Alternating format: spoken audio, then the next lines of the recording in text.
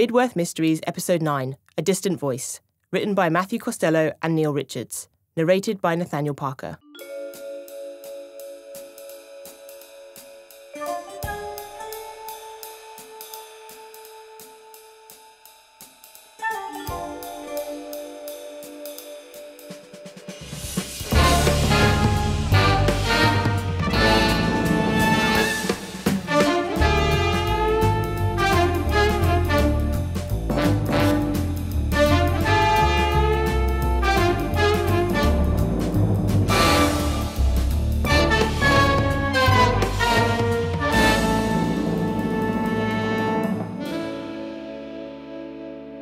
Chapter 1 An Intimate Gathering.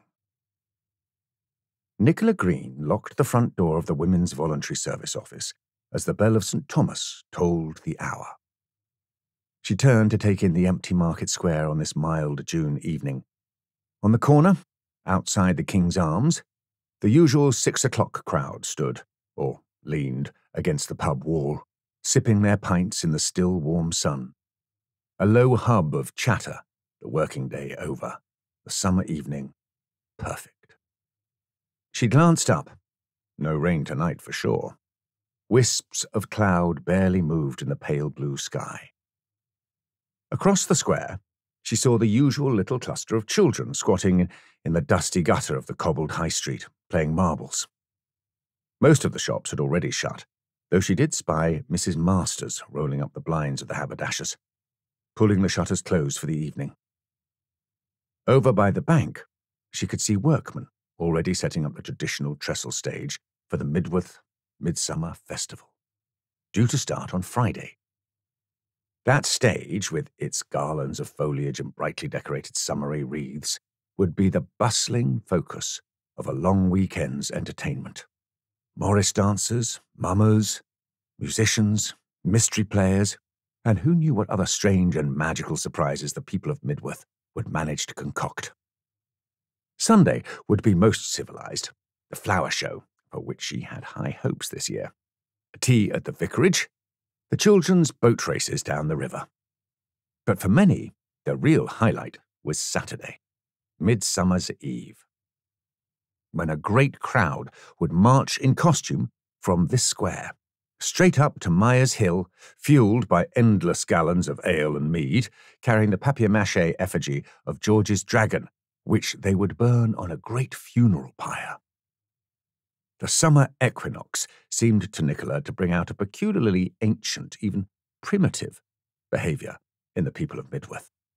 And despite all the high spirits, the fun, the fire, the costumes, over the years she'd got used to dealing with the aftermath of this chaotic event.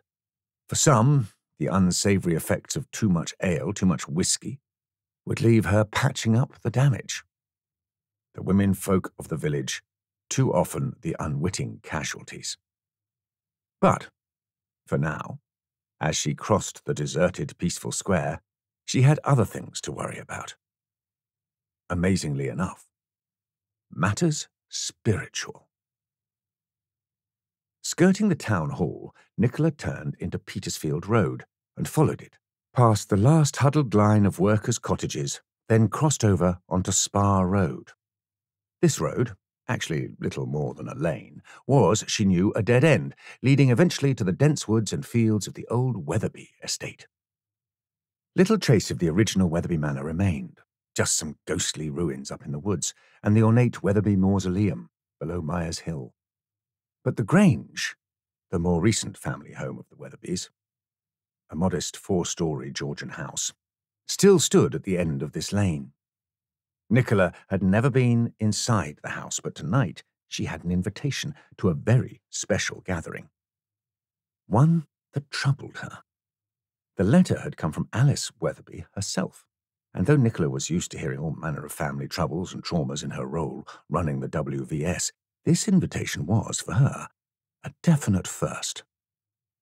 It was an invitation to a seance, to be conducted by the celebrated medium Bellamy Smythe. Nicola had heard of Bellamy Smythe. Who hadn't in this part of Sussex? He'd been touring the county since the spring, filling town halls to bursting with his spiritual... We hope you enjoyed this preview. To continue listening to this audiobook on Google Play Books, use the link in the video description.